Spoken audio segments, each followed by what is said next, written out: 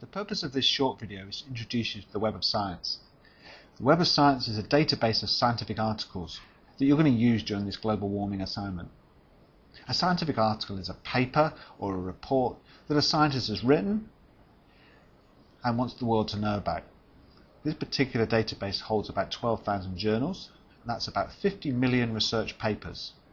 That's an awful lot of power at your fingertips, but it also means you can waste a lot of time searching this database inefficiently. So this video assumes that you've already looked at the library's iResearch tutorials on scholarly versus non-scholarly resources and on finding journal articles using databases. After you've watched this video, I recommend that you log into the Web of Science in the way that I'll show you and that you search for some things that you're interested in. After you've done that, you might want to work through the library's iResearch tutorial on searching faster, searching smarter in order to sharpen up those skills. So let's get going. From the university homepage, we're going to go into the library using the link at the top. And then from the library homepage, we want to use their databases and electronic resources link.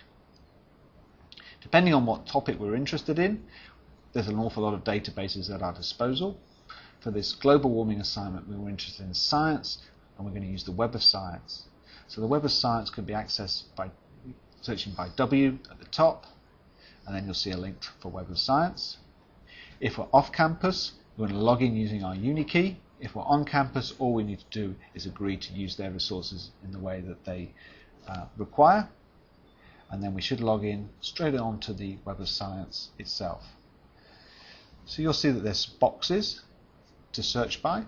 And you can search by topic, you can search by author. If you know the journal or the publisher of the paper, you can put that in. You might want to, instead of putting a topic, you might want to put a title in. You might want to search by the year in which it's published.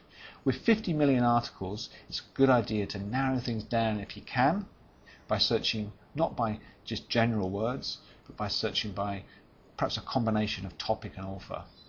So for example, if I put in global warming into the topic box, I'm going to get a huge number of scientific articles. I'm going to spend all night reading through and working out which ones are relevant. I happen to know that there's a Nobel Prize winning author on atmospheric chemistry called Paul Crutzen. So I'm going to put him in as an author. And so this will now only search for articles that contain the words global warming and were published by this particular scientist. And I've actually got myself a manageable amount. I've actually only got six papers out of that 50 million. So you'll see there's a list of the papers that have been published that meet those criteria. It also tells you which journals and which years those things were published in. So some were published fairly recently and some were published a few years ago. I want to go into this one in the middle Changing concentration, lifetime and climate forcing of atmospheric methane. That sounds interesting to me. So I click on the link. Then the database searches through and it gives me a page with a bit more information on this particular paper. It tells me which scientists were involved in the work, but most importantly, it gives me an abstract. An abstract is a quick summary of what the paper is about. So instead of reading the whole paper, I can just read this summary and work out for myself if I want to read the whole paper or whether this is one that's actually not as interesting as I thought it was from the title. If I decide that it is an interesting paper, I can access the full text of the article.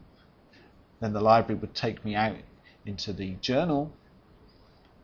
And from the journal, I can read the abstract and I can get a PDF of the article. The PDF of the article I might decide to read on the screen, or I might decide to print out, depending on how interested I am in that article. So that's how we can access a particular paper. So let's go back into the Web of Science and see what else inf other information we can get. Now in the box on the right hand side it says that this paper has been cited by 291 people. That means that this paper has been mentioned by 291 other papers since it was published. That means it's quite an important article. A lot of other scientists have found this relevant to their work. Those 291 papers were published after it, but were using results from this paper. So this gives me a good starting point to trace a story. So I can go into one of these other papers and find out how this particular story has been updated how this particular story has panned out as the years have progressed. So I can access other articles that cite this paper.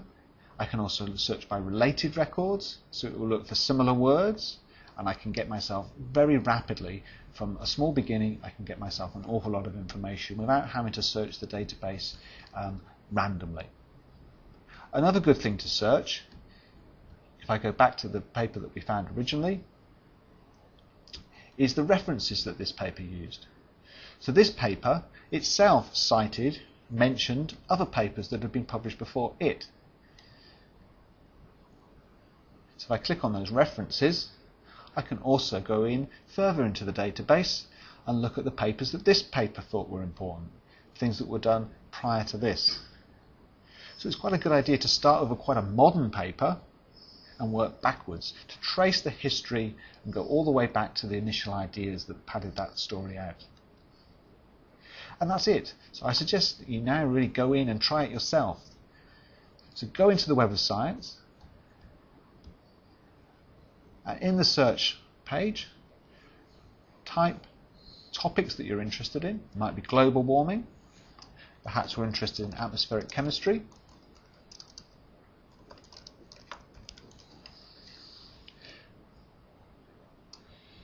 Perhaps we're interested in carbon dioxide. If we combine those two things, we've got more of a chance of, of narrowing the field down. And we can go in and search and search and search and get more and more and more information, but in a fairly intelligent and fairly easy to use way and get the information that we want.